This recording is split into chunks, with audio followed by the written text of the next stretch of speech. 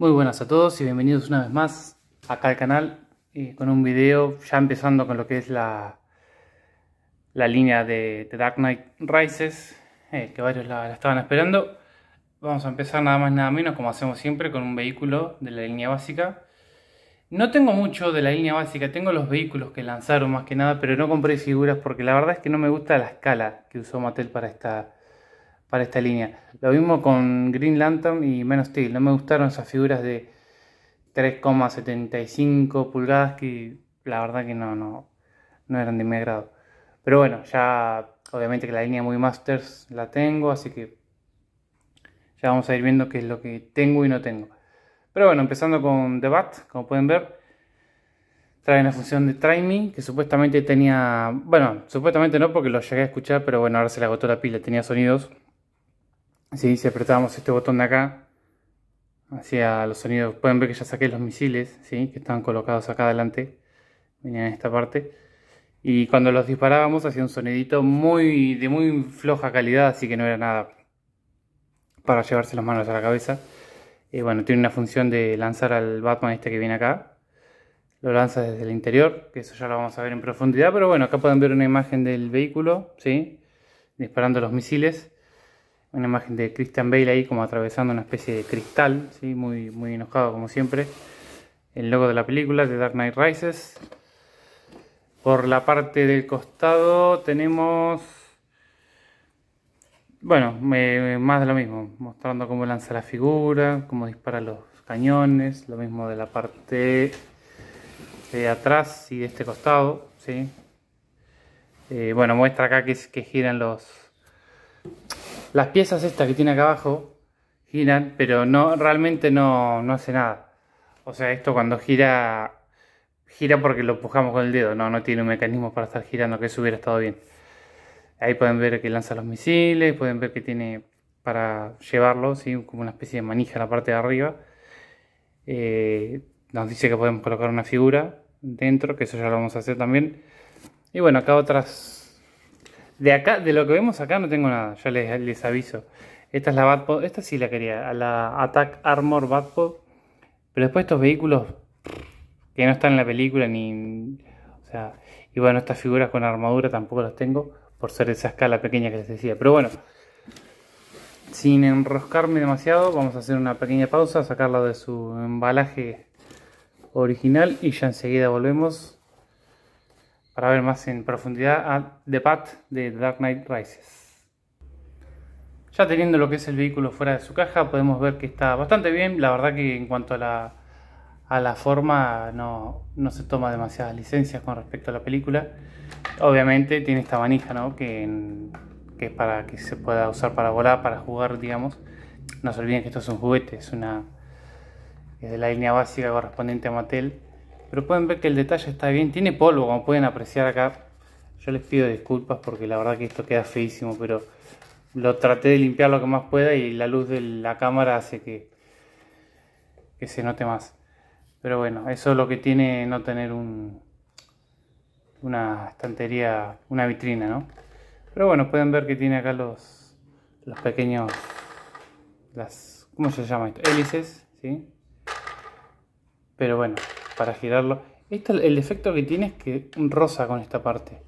Entonces cuando lo hacemos girar se frena un poco. Eh, tiene acá el mecanismo ahí para recargar cuando disparamos al Batman de adentro, que ya lo vamos a mirar. Eh, el detalle está bastante bien, como pueden ver, tiene acá esta textura como para que entre aire, supongo. Recuerden que este vehículo no vuela realmente en la película, o sea, usaban eh, una especie de auto abajo que la llevaba enganchada. Podemos ver los detrás de escena que la llevaba ahí amacándose en la parte de arriba. Tenía como una especie de grúa.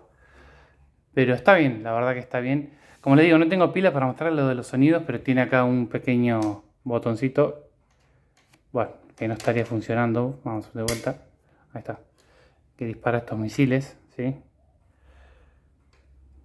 Eh, misiles de resorte, nada muy especial. Bueno, ahí se disparó de vuelta. La verdad que está bien, la, a mí me gusta la nave. el diseño, a ver, no, no es nada como lo que fue en su día la de Michael Keaton, ¿no? O la de Val Kilmer.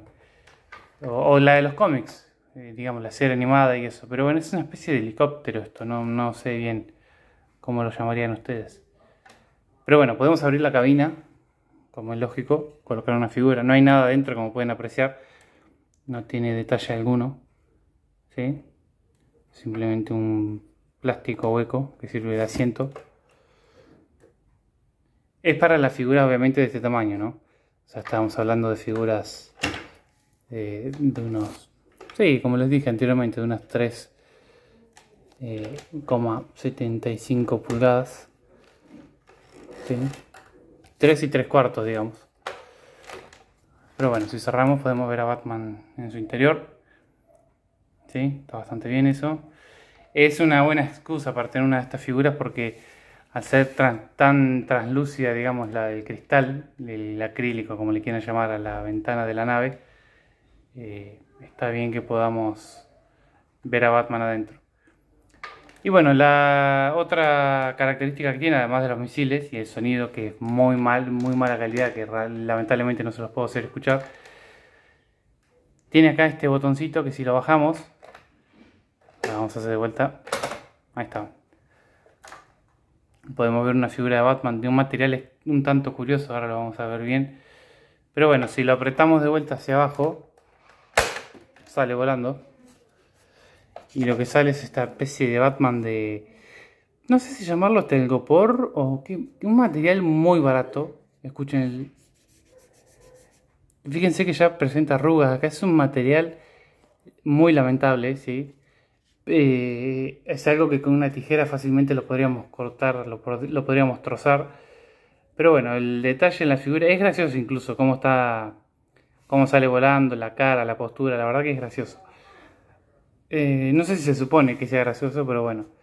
Los detalles en el traje están bien, la verdad que para la escala que tiene esto y el material y todo, las botas están bien hechas, el cinturón, la armadura, está, está bien. La cara no, obviamente que no, se parece nada a Christian Bale eso. Pero bueno. Eh, trae alas en vez de capa. Y esta parte es plástico, es un plástico ya más tradicional, ¿sí? Que, bueno, sirve para engancharse sin la pequeña guía que tiene acá. Ahí la pueden ver. Esto se desliza. Si se fijan, lo ponemos, ¿sí? Ahí empujamos hacia atrás pero siempre, antes de hacer eso, tienen que recargar acá como si fuera un rifle de francotirador. Ahí está, una vez que recargamos, ya podemos llevar a Batman hasta el fondo. Y ahí lo tenemos listo para lanzar de vuelta. Es, es lo que es, o sea, es para que los niños se entretengan y bueno, puedan divertirse disparando a Batman desde adentro, ¿no? Eh, si tienen la figura de Catwoman de, esta escala, pueden colocarla acá adentro como para la escena en la que la lleva, ¿sí? Pues la ayuda a escapar de Main. Yo sé que no va acá adentro, sino que va acá con él, pero bueno, acá entra una figura sola, así que... Eh, la verdad que está bien, yo la, la pruebo, esta nave. Si dependiera de mí, la, la tengo que aprobar porque me gusta. Acá tiene el pequeño parlantito para los sonidos, ¿sí? Pueden ver en esta parte. Es una nave que cumple. No es nada del otro mundo, por eso les digo, o sea... Lo que sí es, se volvió muy difícil de conseguir. O sea, el Debat se, se volvió uno de esos ítems eh, raros, como... Bueno, como lo es, eh, lo son tantos ítems ¿no? de las películas de Batman anteriores, más antiguas. Pero, pero bueno, para comparar rápidamente, acá les traigo lo que es el Batimóvil de The Dark Knight, que fue relanzado igualmente para esta película, de esta misma escala. Y pueden ver que quedan, quedan bien juntos, el famoso Tumblr. A ver si se está viendo bien. La verdad es que quedan, quedan bien juntos, ¿sí? si los quieren tener en display.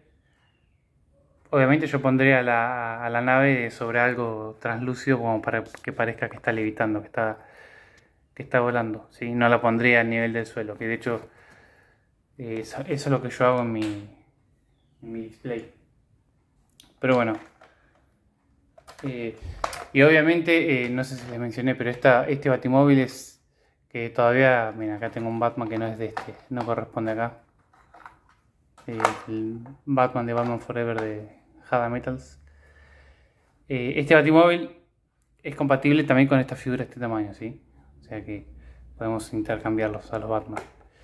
Pero bueno, ahora les voy a hacer una comparativa un poco más complicada, si es que no se me cae todo. Para otra comparativa, acá lo tenemos al lado de la, del Batwing de Toy Biz, ¿sí? Está en esa posición porque tiene la, la manijita abajo. Sé que ya sé lo que me van a decir, me falta la cabina, pero bueno, estoy trabajando en una especie de custom para... Porque no la tengo la cabina, la verdad. Entonces le voy a hacer una cabina nueva. Pero bueno, pueden ver más o menos el tamaño que es bastante más grande que The Bat de Christian Bale, ¿sí? Ahí las dos naves lado a lado. Y por último, una que casi que no me va a entrar en la toma, que es el Batwing de Batman Forever. Pueden ver que es mucho más grande, ¿sí? Por las alas más que nada. Pero es una cosa... Y bueno, y, el ala de murciélago de atrás. Es una cosa impresionante. Pero bueno, en cuanto a vehículos voladores, en lo que a vehículos voladores se refiere, pueden ver ahí la, diferencia, ¿sí? Eh, está, bien que esta nave y la de Toy Biz de Batman 1989 eh, llevan figuras un poco más grandes que estas, pero no por mucha diferencia, así que imaginé que sería una buena comparativa para que ustedes puedan ver. Así que como les digo, es un ítem que vale mucho la pena, si la pueden conseguir completa con los misiles y el Batman que va acá adentro, y el mecanismo que funcione, por supuesto, se las recomiendo muchísimo. Queda muy bien con su colección de, Dark Knight Rises o de Dark Knight Trilogy en general, porque es el vehículo de la, pelea final, ¿no? Eh, así que vale muchísimo la pena tenerla. Pero bueno, tampoco es una cosa. Y de hecho no hay muchas de estas lanzadas. Eh, Hot Toys lanzó una para escala de figuras de 6 pulgadas, ¿sí? Y me parece que no hay muchas más por lo menos conocidas, de marcas conocidas como Mattel o Hot Toys, no hay muchas más eh, versiones de este vehículo en particular, como para decir, bueno, tenemos para elegir. Así que bueno, eh, les agradezco por llegar hasta acá, por ver el video, espero que les haya gustado, que les haya despejado las dudas sobre cómo es el, vehículo en sí. Y nos vemos en un próximo video de, Dark Knight Rises para echar un vistazo más de la, de la línea básica ¿no? de los vehículos que se lanzaron para esta película. Gracias y un abrazo para todos. Chao.